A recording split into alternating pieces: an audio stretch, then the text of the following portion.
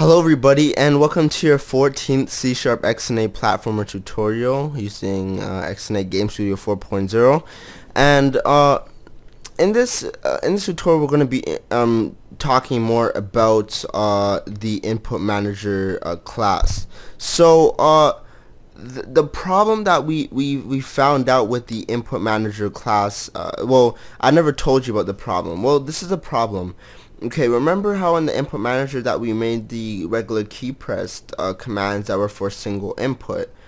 Well, the problem is that whenever we switch screens, we always create a new input manager.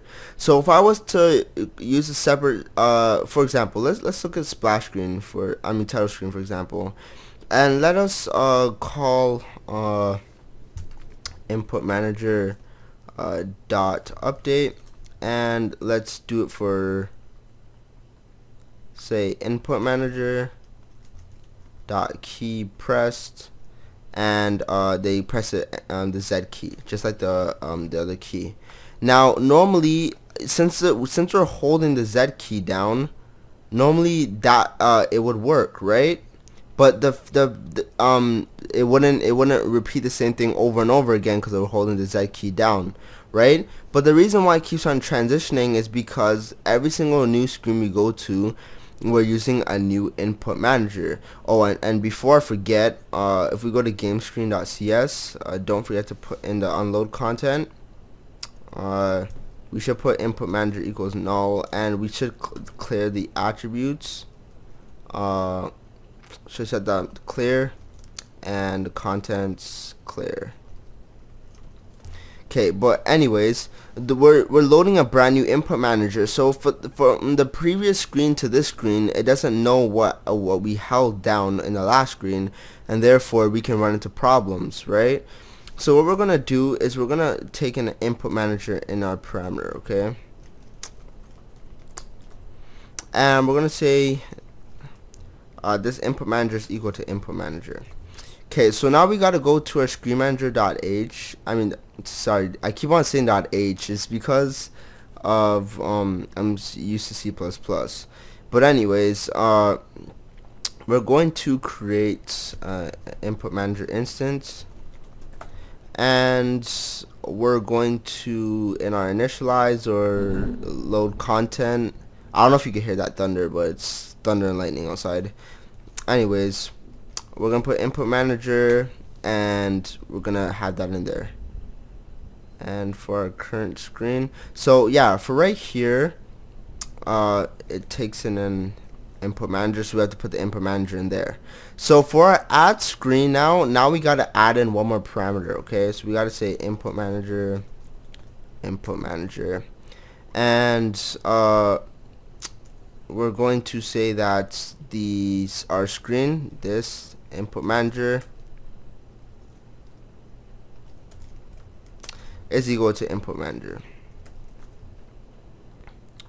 And we gotta do the same for here. So we'll put input manager input manager and we'll say that this input manager is equal to input manager okay so uh, there's gonna be a lot of things we're gonna have to change to this program.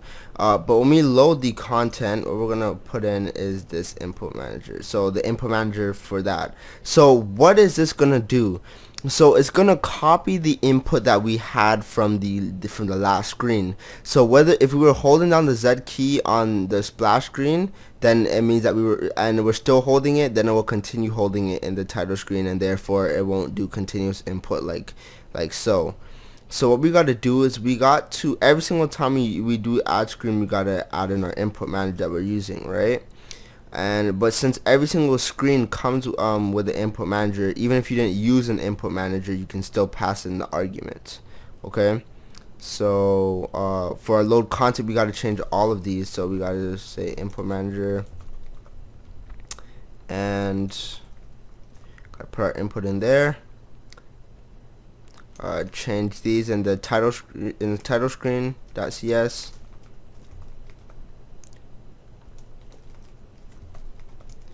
and you should see these all at the bottom uh, during an error list you should see all the uh, different types oh I got it change that.